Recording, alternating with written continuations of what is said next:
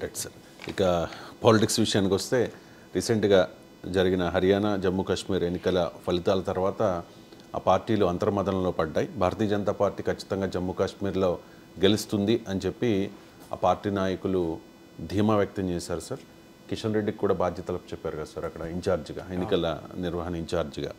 So but గెలవలేని పరిస్థితి. జమ్మూ కాశ్మీర్లో national conference గెలిచింది కాంగ్రెస్ సపోర్ట్తో. ఇక కాంగ్రెస్ హర్యానా విషయానికి వస్తే మొదట్లో ట్రెండ్స్ అన్ని కాంగ్రెస్కి అనుకూలంగా చూపించిన భారతీయ జనతా పార్టీ అక్కడ అధికారంలోకి వచ్చిన పరిస్థితి సార్. ఈ రెండు రాష్ట్రాల ఎన్నికల ఫలితాలని చూస్తే రాజకీయ పార్టీలు గెలుపోటముల్ని నిర్ణయించే అంశాలు ఏంటి అంటే ఏం చెప్తారు?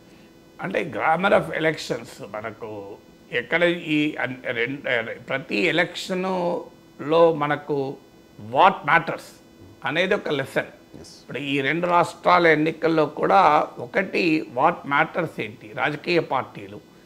ప్రభుత్వ వ్యతిరేకతను అనుకూలతగా మార్చుకొని ఆ వ్యతిరేకతను ముందుగానే గుర్తిస్తే తప్పులు ఏమున్నాయని అర్థం చేసుకొని వాటిని మిడ్ కోర్స్ కరెక్షన్ అంటారు. అంటే వాటిని సవరించుకోగలిగితే ఆ రాజకీయ పార్టీ మళ్ళీ గెలుస్తుంది. మీకు ఇక్కడ హర్యానాలో బీజేపీ గెలవడం ఒక ఉదాహరణ. మీకు ప్రశాంత్ కిషోర్ కూడా బెంగాల్ గురించి చెప్పాడు. టూ థౌజండ్ నైన్టీన్ లోక్సభ ఎలక్షన్స్లో బెంగాల్లో నలభై రెండు సీట్లలో ఎయిటీన్ సీట్స్ బీజేపీ గెలుచుకుంది. దాంతో ఇక మొదలైన బీజేపీ అధికారంలోకి వచ్చేస్తుంది. తృణమూల్ కాంగ్రెస్ ఉండదు ఎందుకంటే అప్పటికే సెకండ్ టర్మ్లో ఉన్నారు. సో అందువల్ల ఇక ఉండే ప్రసక్తే లేదు నెక్స్ట్ ఎలక్షన్స్లో అని మొదలై చర్చ అంతా. అంటే సెకండ్ టర్మ్లో ఉన్నారు. కానీ తర్వాత టూ థౌజండ్ నైన్టీన్లో అయితే ఒక టూ ఇయర్స్లో జరిగిన బెంగాల్ అసెంబ్లీ ఎన్నికల్లో బీజేపీ మామూలు పోటీ ఇవ్వలే. ఒక దశలో అసలు ఉక్కిరి బిక్కిరయ్యారు ముప్పై మంది తృణమూల్ కాంగ్రెస్ ఎమ్మెల్యేలను బీజేపీ లాగేసుకుంది ఎంపీలను లాగేసుకుంది. పోలీస్ కేసులు సిబిఐలు ఈడీలు మమతా బెనర్జీకి క్యాబినెట్లో నెంబర్ టూ అయిన సువేందు అధికారిని ఆమె మీదనే పోటీ. ఇన్ని జరిగినా చివరకు రెండు వందల సీట్ల పైన గెలిచింది. ఎందుకు గెలిచింది అంటే టూ థౌజండ్ నైన్టీన్ లోక్సభ ఎలక్షన్ల తర్వాత సీరియస్గా అంతర్మదనం చేశారంటే. ఎక్కడ దెబ్బతిన్నాం? ఎందుకు దెబ్బతిన్నాం? ఏ కారణాల రీత్యా దెబ్బతిన్నాం అని ఐడెంటిఫై చేసి ఆ కారణాలని సరి చేసుకునే ఒక కార్యక్రమం మొదలుపెట్టారు. అందువల్ల ఈ ఎలక్షన్స్ నుంచి ఎక్స్పీరియన్స్ ఏంటంటే ఒక రాజకీయ నాయకునికే కాదు ఓ వ్యాపారవేత్తకు ఓ కంపెనీ పెట్టే పెట్టిన వ్యక్తికి ఆఖరికో ఎగ్జామ్ రాసే వ్యక్తి ఎవరికైనా ఒకటే ప్రిన్సిపల్. నేను చేసే పనిలో ఏమి ఏం లోపాలు ఉన్నాయి? ఒక ఎగ్జామ్ రాస్తాం. ఆ ఎగ్జామ్లో మార్కులు రాకపోతే ఇంకోని నిందించడం కన్నా రాలేదని ఏడవడం కన్నా నేను ఎక్కడ పొరపాటు చేశాను. సో ఈ ఈ పొరపాటు నేను నెక్స్ట్ మళ్ళీ జరగకుండా ఏం చేయగలను? అనే ఒక సింపుల్ ఎక్సర్సైజ్ చేయగలిగితే మనిషి తప్పులు చేయడు. నేను నా టీచింగ్ ఎక్స్పీరియన్స్లో మా మేడం ఎప్పటికనేది అందరూ క్లాసుకు ప్రిపేర్ కాగా చూశాను. నువ్వు క్లాస్ అయిపోయినాక వచ్చి ప్రిపేర్ అవుతావు ఏంటి అని అడిగా అని అడిగేది. క్లాస్ ముందు ప్రిపేర్ అవుతారు. నేను క్లాస్ చెప్పినాక వచ్చి నేను క్లాస్లో చెప్పాలనుకున్న అన్ని పాయింట్స్ చెప్పానా కవర్ చేశానా లేదా చూసుకుంటూ ఉంటా ఎప్పటికీ. ఇది చిన్నప్పటి నుంచి నాకు ముప్పై నాలుగు నేను నా ఫార్టీ ఇయర్స్గా థర్టీ సిక్స్ ఇయర్స్గా టీచింగ్లో ఉన్నాను ఎవ్రీ క్లాస్ తర్వాత ఎవ్రీ ఉపన్యాసం తర్వాత ఎక్కడన్నా బహిరంగ సభలేనా మన ఎక్కడైనా సెమినార్లలో మాట్లాడినా సరే. సో వచ్చి మళ్ళీ నిజమే ఆ నోట్స్ ఆ పాయింట్స్ అన్నీ చెప్పానా లేదా? ఏమైనా మిస్ అయ్యానా? లేదు ఇంతకన్నా బెటర్గా నెక్స్ట్ టైం ఎలా చెప్పగలం అని ఎక్సర్సైజ్ చేస్తూ ఉంటాను వాస్తవంగా ప్రతి వీడియో కూడా నేను నా నేను మాట్లాడిన ప్రతి వీడియోని మళ్ళీ చూసి అందులో ఇంకేదైనా ఇంప్రూవ్ చేయాలని కూడా కోరిక ఉంది కానీ నేను చేసే వీడియోలన్నీ నేనే చూడాలి అంటే రోజుకు నాకు గంటన్నర పడుతుంది. అది ప్రాక్టికల్గా సాధ్యమైతే లేదు కానీ బట్ కోరిక అది. అంటే మనము చేసే తప్పుల్ని మనమే సరి చేసుకోవటానికి మనకు అవకాశం ఉంటుంది. మన జీవితకాలంలోనే అవకాశం ఉంటుంది. చాలామంది నాయకులు అదే వదిలేస్తారు. నేను తప్పు చేయను నేను చేసిందే రైటు నా తప్పని ఇవ్వడం చెప్తే సొంత పార్టీ వాడు చెప్పినా వాడిని పక్కకు పెడతాను. ఎవరైనా బయటి వాళ్ళు చెప్తే వాడు మా పార్టీ వాడు కాదు వాడు అమ్ముడు పోయిండు ఇంకో పార్టీకి అని ఆరోపిస్తా. ఈ ధోరణి చాలామంది నాయకులు ఉంటారు. అదే కుంపలు ఉంచుతాయి మీకు అందుకే మేము చెప్ వినను అనుకున్న వాళ్ళు దెబ్బతినడం అనేది గ్యారంటీ. మీరు ఇలా చాలామంది చరిత్రలు చూసాం మనం. కానీ అందువల్ల ఈ ఈ ఎలక్షన్స్లో బీజేపీ చేసింది ఏంటి? హర్యానా లోక్సభ ఎలక్షన్స్లో మీకు ఫ్యూ మంత్స్ నవ మేలో ఎలక్షన్ లోక్సభ ఎలక్షన్స్. ఇవాళ మన సెప్టెంబర్లో అక్టోబర్లో అసెంబ్లీ ఎలక్షన్స్. కానీ ఏం ఎక్కడ పొరపాటయ్యాం? పది సీట్లలో ఐదు సీట్లు కోల్పోయారు. Five out of ten. చరిత్రలో ఇటీవల చరిత్రలో ఫస్ట్ టైం. రెండు వేల పద్నాలుగులో పదికి పది బీజేపీ గెలిచింది. రెండు వేల పంతొమ్మిదిలో పదికి పది బీజేపీ గెలిచింది. సో రెండు వేల ఇరవై నాలుగు వచ్చారు ఐదు సీట్లు కోల్పోయారు. సో ఆ తప్పుల్ని ఒక్కొక్కటి సరి చేసుకుంటూ వచ్చారు. అంటే ఫస్ట్ లెసన్ ఇది ఈ for any party individual company anybody ఒక ఎంప్లాయీ నేను చేసిన పనిలో ఏం తప్పు జరిగింది అనేటువంటి ఒక్క ఐదు నిమిషాలు మనం అనలైజ్ చేసుకుంటే నేను మనము will be a better professionals will be better individuals కూడా. సో ఆ ప్రయత్నం మీరు నా- నాతో ప్రోగ్రామ్ చేశారు యాంకరింగ్ చేశారు. ఈ ప్రోగ్రాం అయిపోయిన వెంటనే ఒక ఐదు నిమిషాలు ప్రశాంతంగా ఒక్కరే కూర్చొని ఆత్మ పరిశీలన.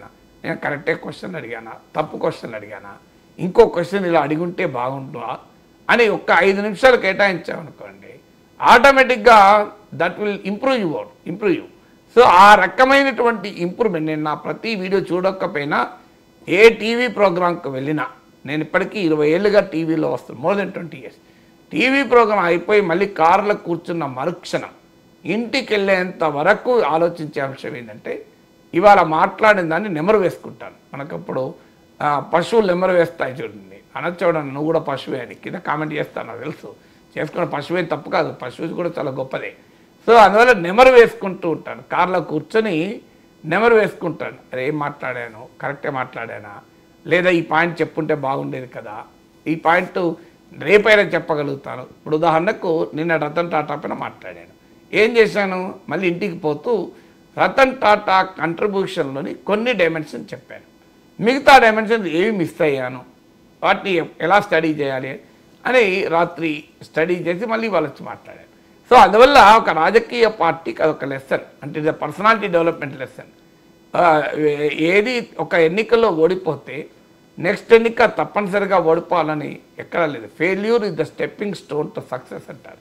ఒక వైఫల్యం విజయానికి సోపానం అని. ఇది సామెతే కాదు. దట్ ఇస్ ద రియల్ లైఫ్లో కూడా ఇప్పుడు హర్యానా ఉదక్ కదా? గాన్ కేసు అనుకున్నది కదా బీజేపీకి. ఏ ఎగ్జిట్ పోల్ అయినా అదే చెప్పింది. ఏ ప్రీ పోల్ సర్వే అయినా అదే చెప్పింది.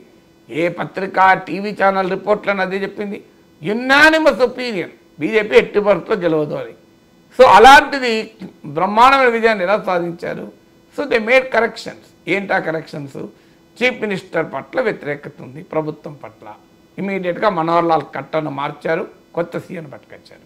ఎమ్మెల్యేల పైన వ్యతిరేకత ఉంది. ఇమీడియట్గా ట్వంటీ ఫైవ్ క్యాండిడేట్ ఎమ్మెల్యేస్కు టికెట్ ఇవ్వలే ఇరవై ఐదు మంది.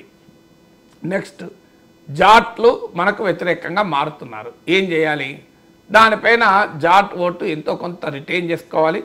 మనకు రాకపోయినా కాంగ్రెస్కి వచ్చే జాట్ ఓటు కొంత స్ప్లిట్ పో- పోతే మనకు లాభం జరుగుతుంది అని. సో అలా Jat vote split Dalit vote Lok Sabha ఎలక్షన్లో పోయింది.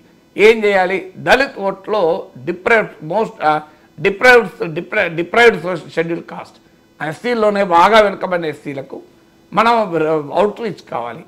ఇలా తాము ఏ సెక్షన్స్ను కోల్పోయారు ఎక్కడ కోల్పోయారు అవన్నీ లెక్కలేసి ఆర్ఎస్ఎస్తో క్షేత్రస్థాయిలో సమన్వయం దెబ్బతిన్నది లోక్సభ ఎలక్షన్లో. దాని సమన్వయ సమన్వయాన్ని మళ్ళీ సాధించాలి. ఇలా one two three four five where did where did it go wrong ఎక్కడ తప్పు జరిగింది అని చర్చించుకొని వా తప్పుల్ని సరి చేసుకునే పని బీజేపీ చేసింది. అందుకే నేను ఒక వీడియో పెట్టి ఎన్నికల్లో గెలవాలంటే బీజేపీ చూసి నేర్చుకోవాలని. నిజంగా అది సో ఎవరు చేసినా మంచి ప్రత్యేకత కదా. సో అందువల్ల అది మొదటి లెసన్ ఒక రాజకీయ పార్టీ. గెలుపు ఓటములు సహజం. ఎవరము కూడా శాశ్వతంగా గెలుస్తూ ఉండము శాశ్వతంగా ఓడుతూ కూడా ఉండరు. కానీ తాము చేసిన తప్పుల్ని ఒక్కసారి కూర్చొని ఎక్కడ జరిగి ఉంటుంది ఈ తప్పు? ఎందుకు ప్రజలు నన్ను ఓడించారు? ప్రజలు నన్ను ఓడించడానికి కారణం ప్రజలే తప్పు అనుకుంటారు రాజకీయ నాయకులు. నా తప్పేం లేదు నేను అన్ని పర్ఫెక్ట్గా చేసిన. ఈ ప్రజల బుద్ధి లేదు. అనుకుంటారు. ప్రజలకు బుద్ధి లేకపోయినా ప్రజలకు బుద్ధి ఉన్నా ఓడిపోయేది నువ్వే కదా. ఓకే ప్రజలకు బుద్ధి లేదు అనుకుందాం. దానివల్ల ఏమైనా నీకేమన్నా వస్తా? ప్రజలు తిట్టుకుంటూ కూర్చుంటాయి. ప్రజలకు బుద్ధి లేదు ప్రజలకు అర్థం కాలే నేను ఇంత చేసినా అర్థం కాలే.